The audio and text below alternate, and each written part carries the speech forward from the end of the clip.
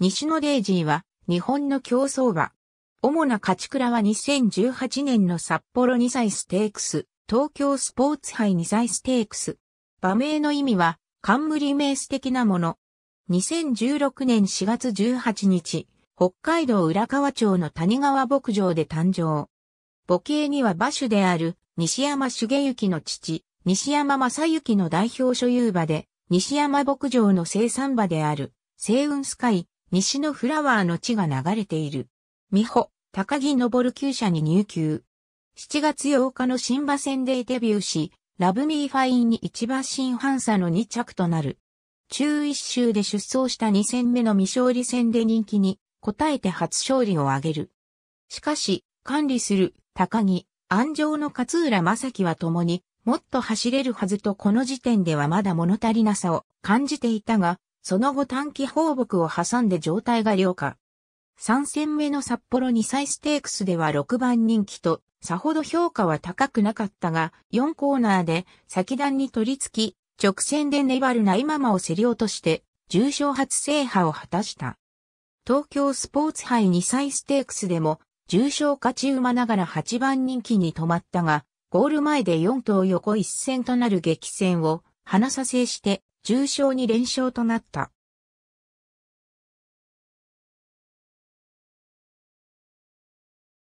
年末のホープフルステークスでは、最内枠からの発想となり、勝負どころで内に包まれて一取りを下げざるを得なくなった。最後は馬群を縫って伸びたが3着に終わった。年明け初戦として3月3日の弥生賞に出走。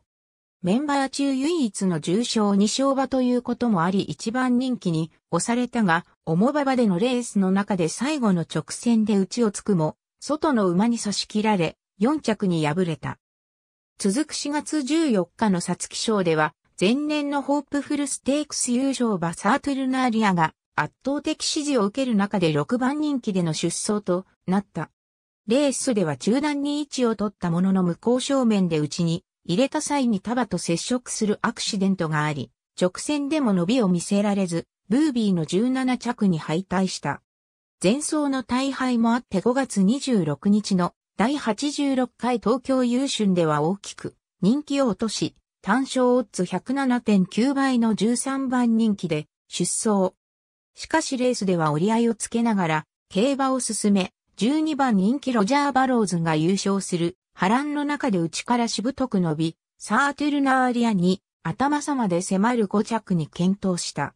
なお、ダービーまでは西山茂之がオーナー特権として勝浦の継続騎乗を決定している。秋初戦には9月16日のセントライト記念を選択。混戦模様の中で、青葉賞勝ち馬リオンリオンに次ぐ2番人気に押され、折り合いを重視し後方からの競馬を選択したが、4コーナーで大外を回る展開となり、最後はメンバー中最速の上がりで追い込んだものの5着となった。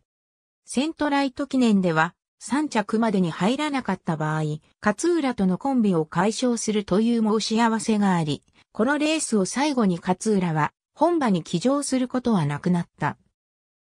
年内最後の出走となった菊花賞では当初西野デイジーは京都競馬場に慣れた立東所属の騎手にお願いしようと思いますと立東所属の騎手にオファーしており、実際には竹豊と大野匠が候補に上がっていた。本場を管理する高木昇調教師による交渉の末、部のエージェントである豊沢忍が仲介するクリストフルメールを安城に迎えて出走することが決定した。迎えた菊花賞は最終的に皐月賞2着ダービー3着はベロックスに次ぐ単勝オッズ6.0倍の2番人気に押されての出走となり、後方集団からレースを進めたが、直線では伸びを見せられず9着に敗れた。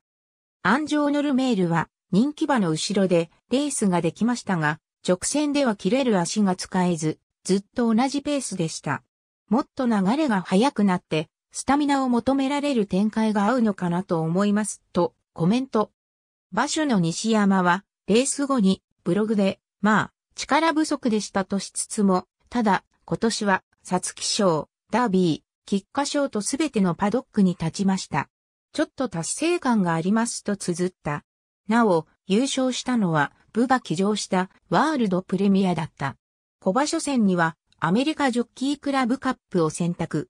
このレースからは、田辺博信と新コンビを組んだ。一昨年の有馬記念を制したブラストワンピース等が集まり、単勝は6番人気となった。レースでは6着に終わった。レース後に、田辺騎手は、道中は感じよく行けたけど、最後は止まっていて、あれ？という感じで、うまくいった割には物足りなかったと語った。以下の内容は netkeiba.com の情報に基づく。ありがとうございます。